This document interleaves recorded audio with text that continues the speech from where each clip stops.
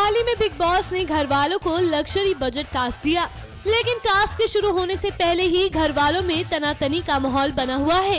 इस बार सपना चौधरी घर वालों के साथ झगड़ा करती हुई दिखाई देती हैं। बता दें कि घर के गार्डन एरिया को डायनासोर पार्क में तब्दील कर दिया है।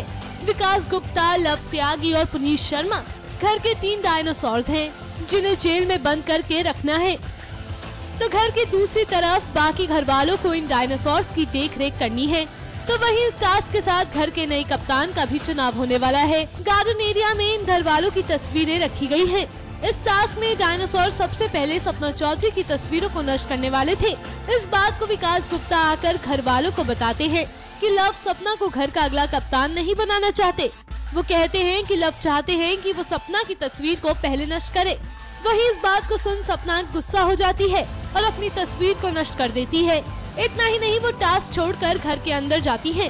तब पीछे पीछे हितेन भी उनके पास जाते हैं और कहते हैं कि हर बार हम लग्जरी बजट टास्क को हार जाते हैं। इतना ही नहीं, सपना इस बार हितेन से भी लड़ लेती है और दोनों के बीच लड़ाई हो जाती है। वैसे दूसरा मौका है जब हितेन का घर वालों पर गुस्सा नज़र आए हो। इससे पहले हितेन आकाश जगलानी के साथ भी लड़ाई कर चुके हैं।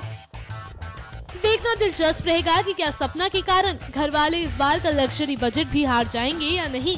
हमें कमेंट करके ज़रूर बताएँ। और बिग बॉस से जुड़ी खबरों के लिए देखते रहिए न्यूज़ एक्सप्रेस